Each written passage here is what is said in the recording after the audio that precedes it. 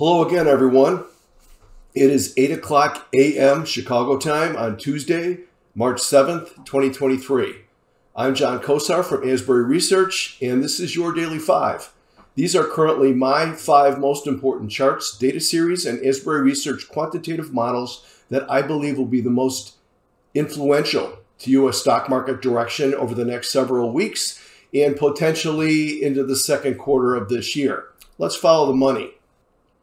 When I was with you last, which was exactly one month ago uh, on February the 7th, I talked about the S&P 500 being in the midst of an emerging major bullish trend change um, per uh, a major breakout that occurred on January the 23rd. And we also talked about uh, some extremes in investor sentiment that showed up last year in June and then again in October, which were really, and that um, extreme and bearish sentiment from back then really was kind of the launching pad for the move higher that we have seen, seen since then.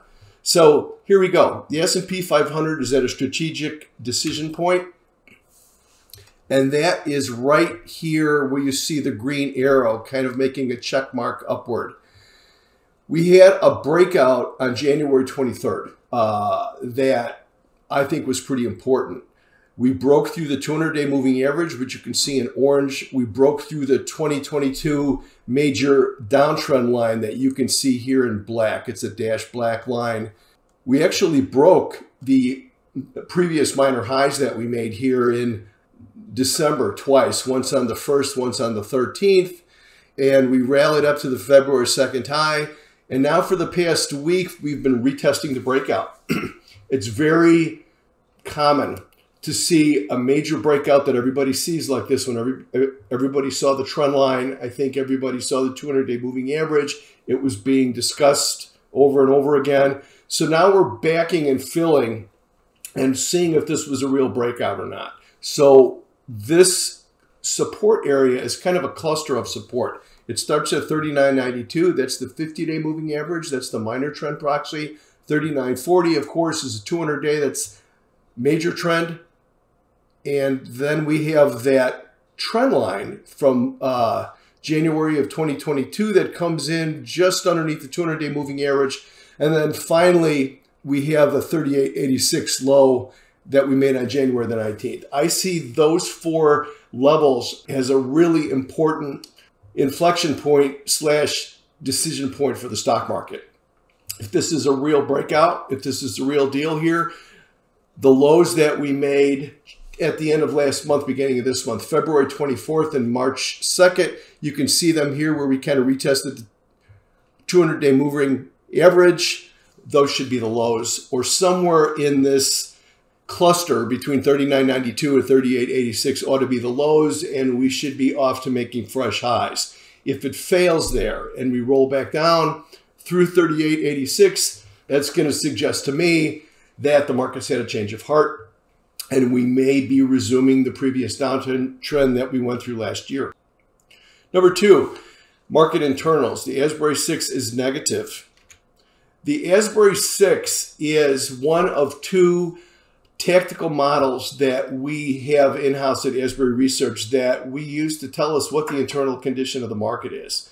It used to be that you could look at the S&P 500 and maybe volume and get a pretty good back of the envelope day-to-day -day indication of what the market was doing, how the market was feeling. You can't do that anymore the day-to-day volatility in the market has really changed that. I think that is primarily due to algorithmic trading. There's more and more computers trading with each other.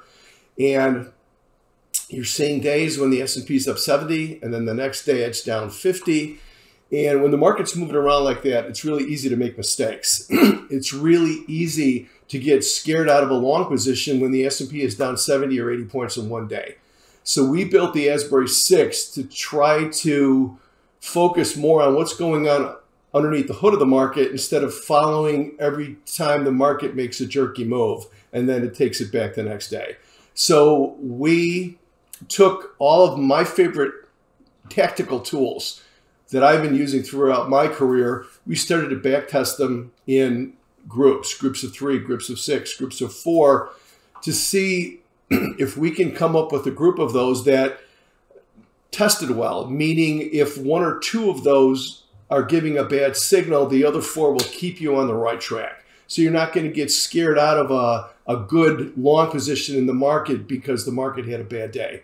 So right now, the Asbury 6, five of the six are red or negative. These numbers in these cells are the day that that particular constituent metric turned red or green. So you can see five of six are red, four or more are necessary for a directional signal. So you can see down here on the chart, the Asbury 6, uh, it was it was positive on January the 11th. First, it was positive here on October the 18th. We went to negative in the middle of December. We're back to positive. We went back to positive on Jan January the 11th, and now we're negative as of February 21st. It would take four or more green metrics to turn the Asbury 6 back to positive. That's very important because that would tell us that the market internals are showing the strength that we need to get the S&P 500 off the dime here, so to speak, off of this 3940 area and up to the beginning of a new major uptrend. We do not have that yet. Um, so when that turns, that's going to be our signal that not only is the market set up for a rally, but the internals are strong enough to support one. So we're going to be watching that one very closely in the days ahead. Number three, market sectors. The SEAF model favors industrials and energy. SEAF model, SEAF is an acronym. It stands for Sector ETF Asset Flows. We built SEAF because the sector rotation sped up. Those of you that trade sector rotation know this. 10 years ago, you could buy a sector and it would outperform for a quarter or two. The trends were longer, they were slower, they were easier to trade. Everything has sped up now. So we built a model to try to be more agile. So what we're doing now is instead of looking at the chart and trying to find the relative performance on the chart, we're actually watching assets move around the 11 sector spiders to try to see where the money is going and where the money is coming from. The model is updated once a week on the weekend, so you have the pre previous week's data. and then we use a scoring system. So you can see we're checking this in three different time frames. Trading, five days. Tactical, 21 days. Strategic, 63 days.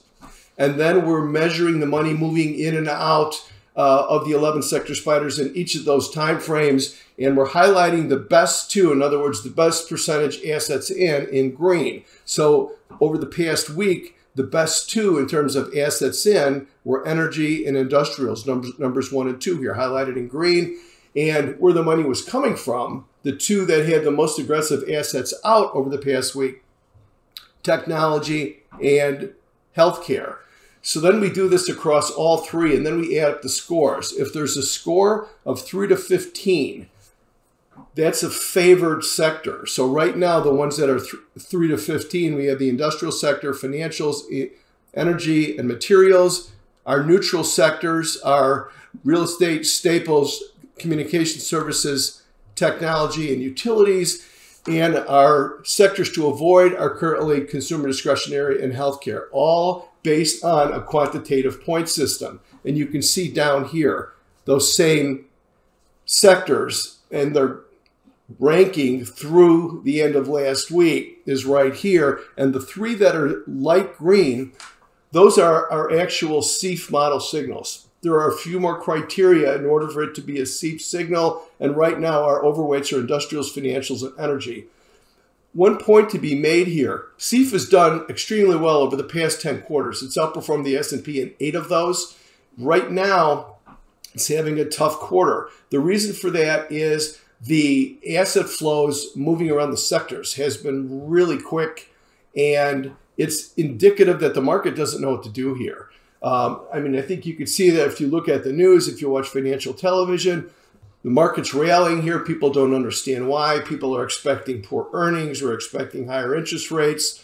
inflationary pressures. So there's a lot of angst, there's a lot of hand wringing, and there's a lot of uncertainty. So you see money is moving from one sector to another very quickly. Two or three weeks ago, uh, it showed money going to consumer discretionary and going into technology.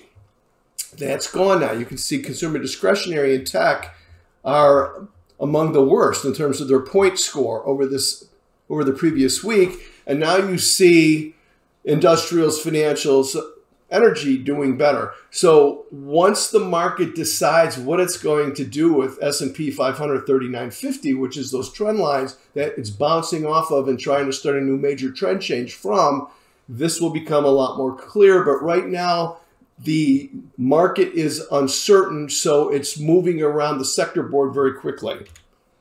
Here's number four, cross asset, CARP model indicating risk on relationships. CARP model is another one of our models. CARPS is another acronym. It stands for Cross Asset Relative Performance. And what it does is it looks at eight equity related relationships um, and three fixed income relationships to try to determine where the outperformance is. And it's basically risk on or risk off. So we're looking at stocks or bonds.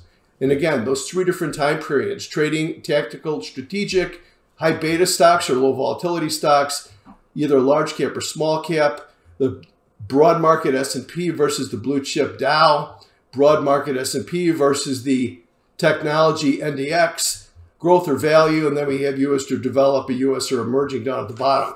So what we're seeing here as the S&P 500 is negotiating this major support level at 3950, trying to decide if this is a good breakout or not from back in January, Look at this outperformance here. Stocks outperforming bonds. High beta outperforming low volatility. Small cap over large cap. The broad market is outperforming blue chips.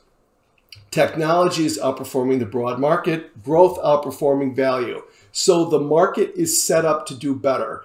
There is a risk on kind of a tint to what's going on in terms of relative performance. I think that's important as we head forward. Something else that this doesn't show is that you're getting outperformance from the right places. Tech, semiconductors, and small cap currently are all outperforming the S&P 500 on a 63-day quarterly basis.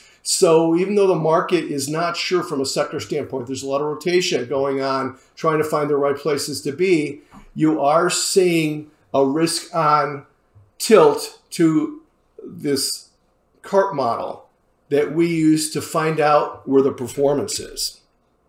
Number five, relative performance. Stocks are also outperforming bonds. Another relationship that we look at to try to determine the character of the market on a strategic basis. Here you see the S&P 500 up top from October of last year. Down here is the relative performance of SPY versus AG which is effectively in ETF terms the S&P 500 versus bonds. And what you see here is since January the 20, it's flat, first of all. Okay, that's the first thing that we should notice here is the spread is effectively flat as the market has been kind of drifting sideways for the most part here for the last several months. But within that, SPY has been outperforming AG since January the 23rd.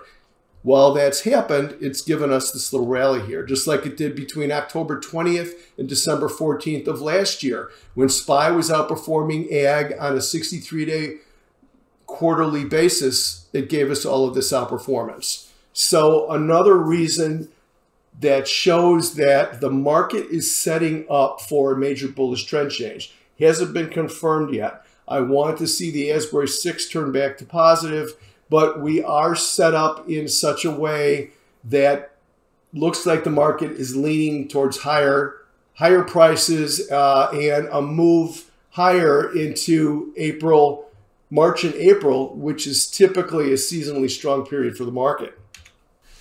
There's your daily five for March 7th, according to Asbury Research's approach to the market. If you like our approach to markets and investing, I invite you to visit our website at asburyresearch.com to get more information about us. If you'd like to see more videos like this one, visit the Asbury Research channel on YouTube and subscribe. Thanks for watching. I will see you at the next one.